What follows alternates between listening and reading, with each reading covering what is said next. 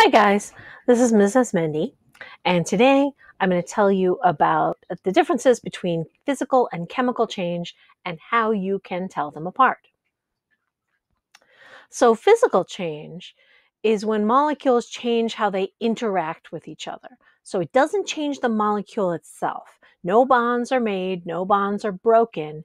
It's just how the molecules interact. So, for example, here's an ice crystal right here, and you can see there are still the little water molecules that are right here. So it's oxygen, hydrogen, hydrogen, and the water model molecules are the same as the water molecules that are in regular liquid water.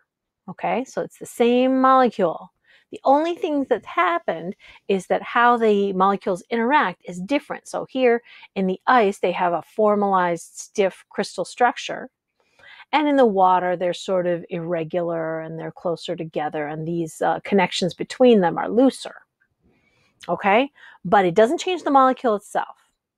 So, uh, in contrast, chemical change is when molecules or atoms change into something new.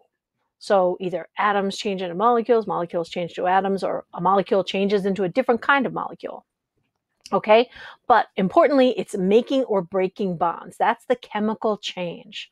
So here we've got hydrogen and oxygen, and the hydrogen are in hydrogen molecules. So the hydrogen is bonded with another hydrogen, and the oxygen is in an oxygen molecule. So one oxygen atom bonded to another oxygen atom. So if they change into water, then uh, that makes a totally new molecule, a water mo- molecule, which is extremely different the, from hydrogen and oxygen. Both of these are very explosive, very flammable, and water is not explosive or flammable. Uh, it's a different shape, it has different properties, all kinds of things are different, and definitely uh, bonds were made and broken, both. Now, it doesn't have to be making and breaking bonds, but at least one of these for chemical change to happen. Okay, but then uh, figuring out when this has happened on our human scale, just making regular human observations, is a little more tricky because we can't see the, uh, the atoms and the molecules directly uh, to see what has changed about them. But we can see uh, and see if properties have changed.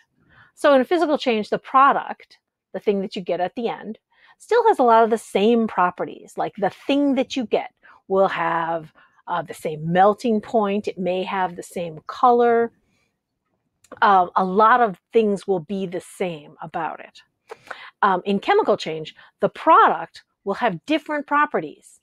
It may, it will have a different melting point for sure. It may have a different color. There may be all, it may be in a different state also. Um, oh, that's complex. I'm not going to talk about that like this. Um, but these are some different things that you can look at. We're going to go over some more things that you can look at. So, clues that there's a chemical change. Now, um, there's nothing that's like a hundred percent going to tell you if it's a chemical change, um, but there are some clues, some reasonable things that you could say. Well, that's probably a chemical change. Okay, I'm going to show you some examples um, because of the nature of recording this, I can't do it in here, but I'm to do it here in YouTube. Okay, so here's a chemical change that we're going to talk about, which is color change. Oh, I should say, uh, when I say color change, I mean not blue plus yellow equals green. That's not a chemical change. That's does not the color change I'm talking about. Okay, because there you're just seeing the blue and the yellow at the same time makes it green. It's just sort of like mixing those two colors, and the colors themselves have not changed. Okay, this is not what I'm talking about. I am talking about something like this. All right, so right now, this person is uh, putting some red cabbage, it's purple, but they call it red, um, and it's going to extract the purple chemical out of there because it has some interesting properties. Okay, so he's going to put this with some water and microwave it. Okay. And you're going to microwave this for two minutes, and I don't want to watch this for two minutes. Okay. So, what you get out is this sort of purpley liquid. This is the he's taken the leaves out, and that's like the uh, an extract of the purple chemical that was in the purple cabbage. Okay, and it has some neat properties. Okay, so notice here we have four clear, colorless liquids. Uh, remember that there's a purple chemical that is in this uh, this flask. Okay, remember that it was purple. Remember that these were all clear, colorless, and see what happens.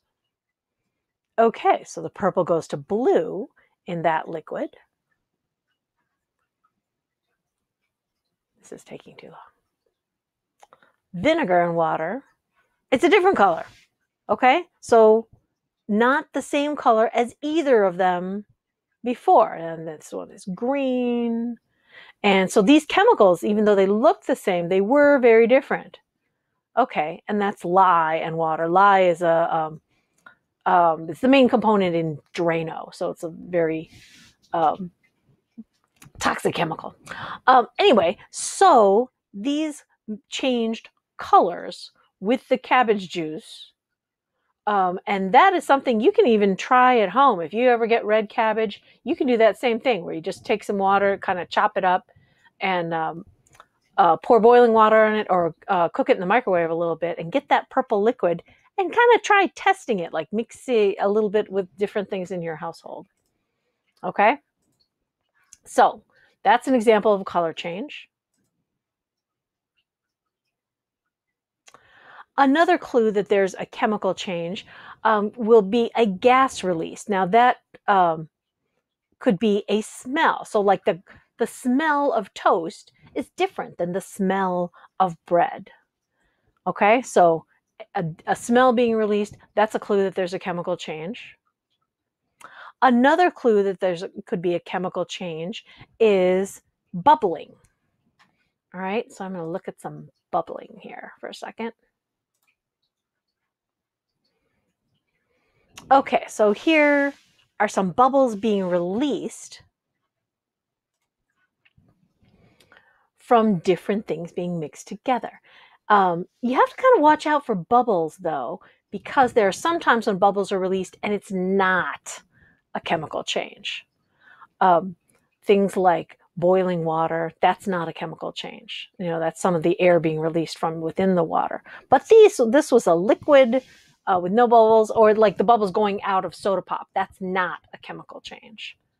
But like these things, like seashells being put into acid, and this is zinc metal being put into acid and it releases hydrogen bubbles. Lots of metals, if they're put into an acid, they give off hydrogen because the acid, the hydrogen in the acid is the bubbles. It's a good way to get hydrogen, actually. Okay, so bubble, bubble, bubble, bubble, bubble that's one way that you can say, well, that might be a chemical change. Okay, clues that there's a chemical change could be that it's uh, you see a precipitate. A precipitate. Now that's a different word that you may not have heard of before. A precipitate in chemistry uh, means usually it means you mix two liquids and you suddenly get a solid. Okay, and a solid may not just be like a chunk falling out. A solid, uh, there's also evidence of a solid if it's just an opaque looking liquid. Okay, because solutions are clear. I'm, I'm going to show you over here. You can see it a little bit better. Okay, now look at this. Okay, so see up here where there's a little drop of, oh, that's better a drop of clear liquid, and then there's a clear liquid down here. Now, these are different chemicals. You would not be able to tell. But so watch this drop when it falls into this liquid. Watch what happens. Pow! Okay, that's something different happening. You get a color change, but you also get that this becomes more opaque. It looks like a smoke or something. And what that is, is little tiny pieces of a solid, a different solid. So that's the precipitate. So you may not always see stuff falling down. It may just turn from clear to cloudy. Okay, so that chemical reaction is happening right there. All right, so that's number three, is precipitate.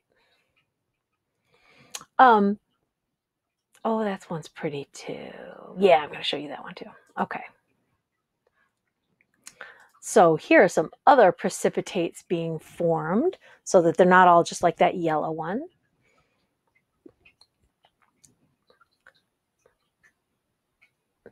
Okay, so this is this is showing what's happening as a chemical formula, um, a chemical uh, uh, equation.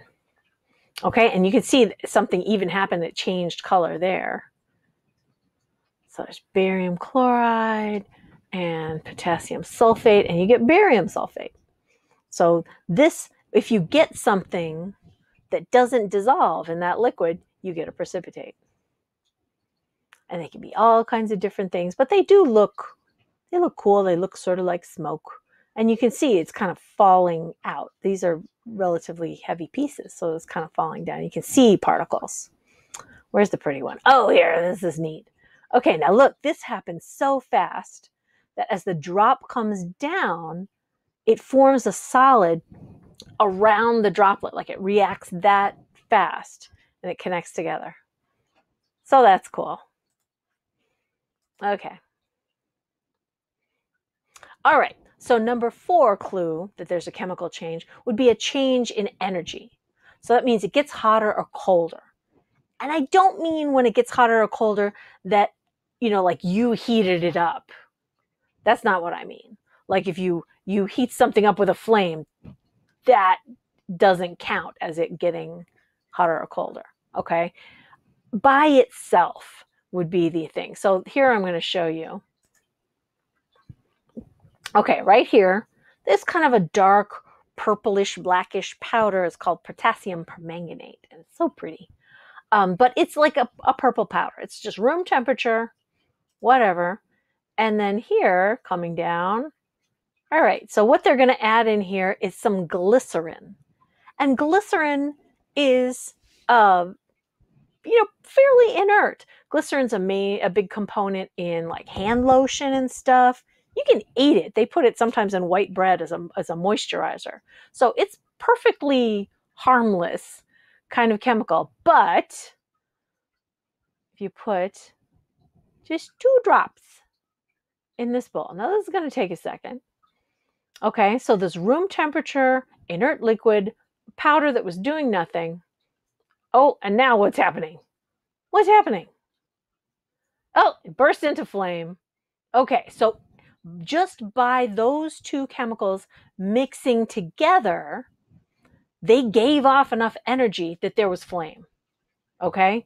Nobody had to heat anything up. It was just them mixing together. It rele- that reaction released so much energy that it burst into flames. Okay, let's go back to this. Okay, so summing up, let me get this here, pointer, put that away. Um, how to tell chemical change from physical change. Here are your hints. They're not going to be 100%. Okay, chemical change here, the four we talked about. A color change, a gas release, which would be bubbles or a smell, a precipitate, or an energy change where it gets hot or cold by itself. Okay. Um, that's also not like uh, ice melting. That's not getting hot by itself. The environment is is heating up the ice and it melts. Okay, some hints that it would be a physical change for sure. If it's only a state change, like if it's something that goes from solid to liquid or liquid to gas or gas to liquid, like it condenses, um, or liquid to solid, any of those changes, that's just physical change. Okay. Um, and you could tell that it, it, it's easy to undo a physical change, you know, melting, freezing, evaporating, stuff like that. If it's just a shape change, if you bend it or stretch it, that's a physical change.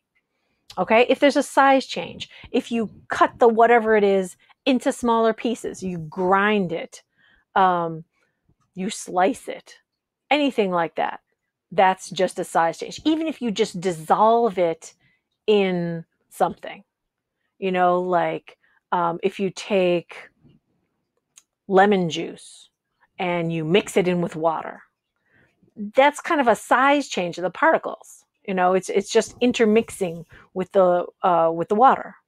Or if you have a piece of rock candy and you dissolve that in water, it's still sugar. It didn't really change. It just changed the size of the piece of sugar from like one big piece to a bunch of little molecule sized pieces.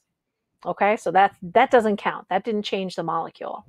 Um, and if the properties stay the same, so that's uh, you know like the melting point, the freezing point, um, the color, different kinds of properties like that. If the, the things like that stay the same, it's still the same stuff.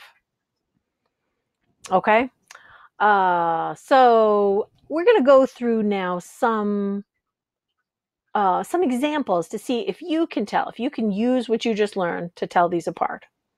So, you know, changes the size. Uh, we talked about that. I'm not going to talk about that. So, okay. So, chemical or physical change. Look at these for a second. Pause the video if you want to and think about are these chemical or physical change? Okay. Pause if you want. Okay. Now I'm going to go over it. Okay. So, frying eggs. This is a chemical change. I can tell that because there's a difference in smell, like a gas is released. Um, there's a difference in color, like the egg white goes from clear to being opaque. Um, and the the yolks change too. They change from that sort of darker orange to a lighter yellow. So that's chemical change. Um, a lot of cooking is chemical change. That's why we cook. Is it it changes it. Uh, toast. So toast it gives a change in color and a change in smell. So that's a chemical change. Cracking eggs. Now, cracking only uh, changes the size of the pieces. All the stuff is still there. So that's a physical change. Slicing bread, also, that just changes the size of the pieces. So that's a physical change. Lighting a match. This is a chemical change. You can tell because there's a different smell, like that smell of a, of a burning match, that's different. It's giving off energy, so that's a change in energy. And it changes color, like before and after being burned. That's different. So that's a chemical change. Roasting marshmallows, they have a different smell and they change color. So that's a chemical change. Okay, most cooking, um, except for like boiling water, is going to be chemical change. Any kind of burning is going to be chemical change. All right, rusty nails. Um, nails getting rusty, that's a color change. Um, there's also a consistency change, like a, a property, like um, like the nail itself holds together and then the rust does not. So that's a property change. Um, ice melting, that's a state change. So that is a physical change. Glass breaking, it's, you're just changing the size of the pieces, so that's a physical change. Boiling water, physical change, because it's just a change in state. It's still water, it's just water vapor. Making lemonade. Now, this one's tricky. Uh, making lemonade is a physical change because the lemon is still lemony, the sugar is still uh, sweet, they're all just mixed together and they're dissolved. So it kind of looks like something different, but there really isn't any color change and there isn't any property change. All the different things are still in there doing what they do, tasting how they taste, looking how they look, smelling how they smell, um, but just together. Baking a cake. This is chemical change. The cake batter changes a lot. It changes in smell, it changes in color, it changes in its structure, but that's a little more risky. But it's it's cooking, that's baking a cake. Mowing the lawn. Now this one is also can be tricky because there's a smell from that. But the smell is because you sort of ripped open the the leaves of the grass and um, the juices inside that were just sort of trapped inside come out. So it's not changing anything uh, to get that smell. It's just cutting it in smaller pieces. So this is a physical change. Fireworks exploding, that's a chemical change. You have an energy release with the light and the sound coming out of there. Um, they're burning, so um, That's a chemical change. Digesting food. So, digesting food isn't just chewing it up, it is actually making, uh, breaking up the molecules of the food. So the cheese gets broken down into its amino acids and its fats, and there's probably a little sugar in cheese, maybe not too much. Anyway, so that's chemical change because it's breaking it down the food on the molecular level. Okay, now remember, here's the key point. Chemical change is making or breaking molecules. Uh, remember, the molecules are the structures made of atoms. So methane and oxygen changing into carbon dioxide and water. These are completely different substances with different properties. Okay, so this is a chemical change. Okay, that's it for today. I'll see you later. Bye bye.